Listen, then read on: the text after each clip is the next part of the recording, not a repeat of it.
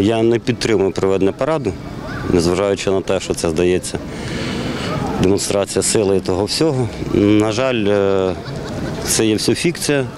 На цей парад відбирають, по крайній мірі, з нашої батальйон тактичної групи вибирали хлопців не нижче, ніж метр вісімдесят, а служать там хлопці і низького росту, і високого росту.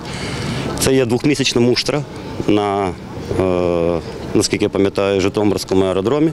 Щодня вони крокують, щоб показати, які вони всі красиві. За цього я вважаю, що це просто показуха. Е, крім того, я не бачу, що святкувати парадом. Е, незалежності в країні я не відчуваю. Далі йде війна. І ми, по суті, займаємося окозамилюванням. Да, воно красиво, воно хорошо, але я не бачу змісту його проводити, по крайній мірі, під той час, коли в країні йде війна.